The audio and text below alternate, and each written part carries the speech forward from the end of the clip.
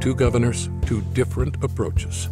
Even in good times, Bob Ehrlich did not make education a priority. He increased college tuition by 40%, cut school construction by $200 million, and Ehrlich voted to eliminate the Department of Education while serving in Congress.